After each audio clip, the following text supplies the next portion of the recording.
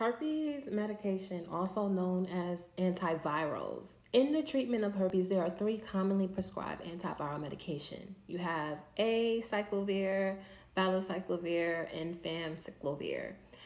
Each medication works to suppress the herpes virus and reduce the frequency and severity of outbreaks.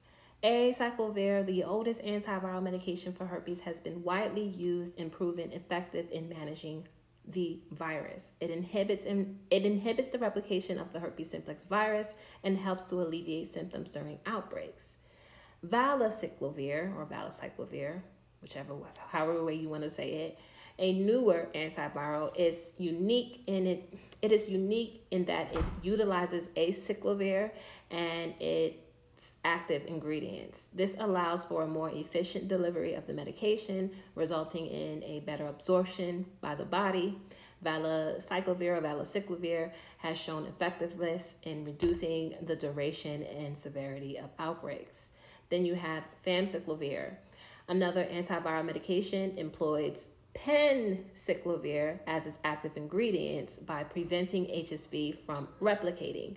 Famciclovir helps to control the virus and minimize the occurrence of outbreaks. It is important to note that while these medications can be prescribed, some physicians may choose to prescribe them only when a patient is experiencing a physical outbreak.